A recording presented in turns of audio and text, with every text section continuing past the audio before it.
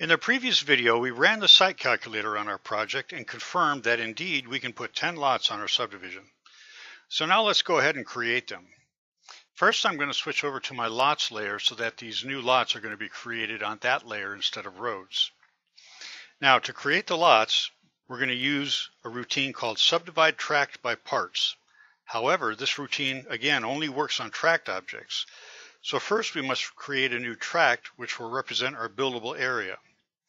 So we'll start the tract command and then trace around the area here where our lots will be. So I'll start up here and just go all the way around.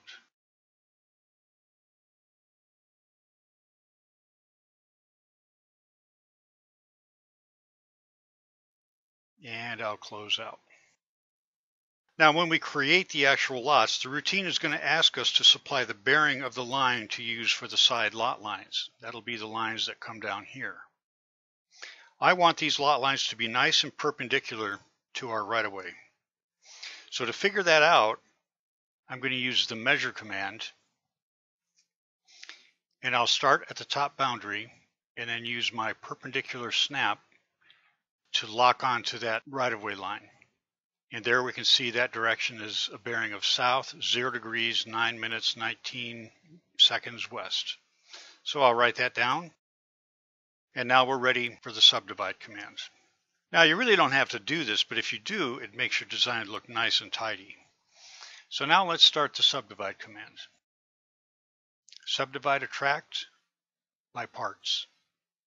We're going to try the routine on our entire parcel but in some cases, you may need to break up your project into smaller parcels to make it easier for this routine to do its thing.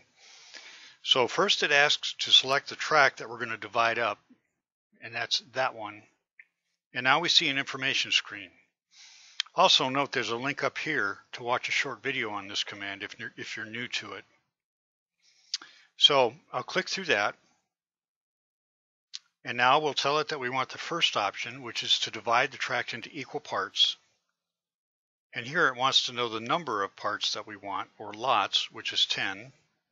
On this screen, we're telling it that we want to create the lots from left to right. And here it wants to know the bearing to use for the new lot lines that will be created. We want them perpendicular to the right-of-way line, and moments ago I measured what that bearing would be, and it's south 0 degrees 9 minutes 19 seconds west. Next, the routine is asking if we want it to automatically name the new lots, such as Lot 1, Lot 2, etc. And I'm just going to leave that blank and name them myself later.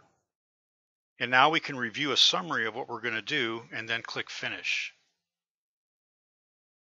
Now, as you can imagine, there are some fairly complex calculations going on here.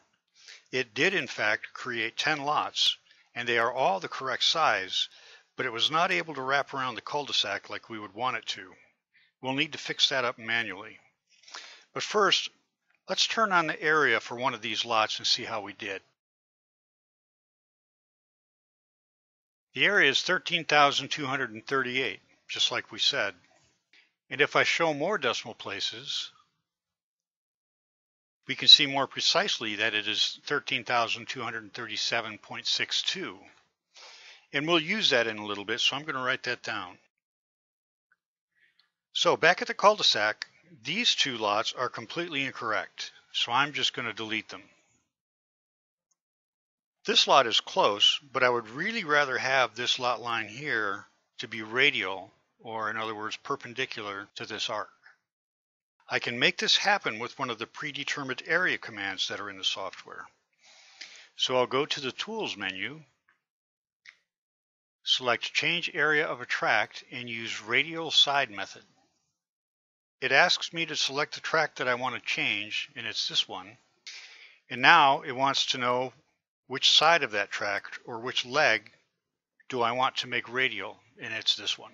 So it'll use that leg right there and reposition it to get the correct area. And last, it wants to know the area, and that's the area that I wrote down just a moment ago. It's asking for the value in acres, but I can still enter it in feet.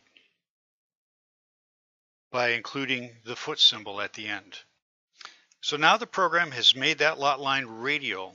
In other words, if you extend it, it will exactly connect to the center point of our cul-de-sac. We need to do the same thing with this lot down here. So again, start the command, radial side method, there, there, and that area. Next, we need to redraw the other two lots over here that we deleted. I'll start the tract command and just sort of trace the approximate outline of this top one right here. So I'll start here, there, And understand the program automatically locks on to the things I click. So I'm not being careless there. It'll just do that automatically.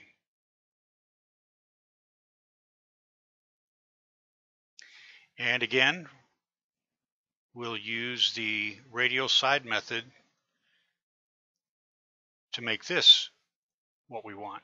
And now for this last tract, if we've done everything correctly, it should be the correct size anyway. So we'll start that and then trace.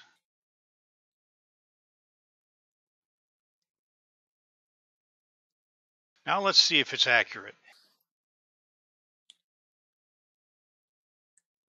Pretty darn accurate. It missed it by two hundredths of a square foot. Let's check this one. That one's correct. In fact, they're all exactly the same size except for this lot right here, which is only two hundredths of a square foot different. And what's more, all of our internal lot lines are perfectly perpendicular to the right-of-way boundary lines. In the next video, I'll add some dimensions, setback lines, and also create the actual roadway.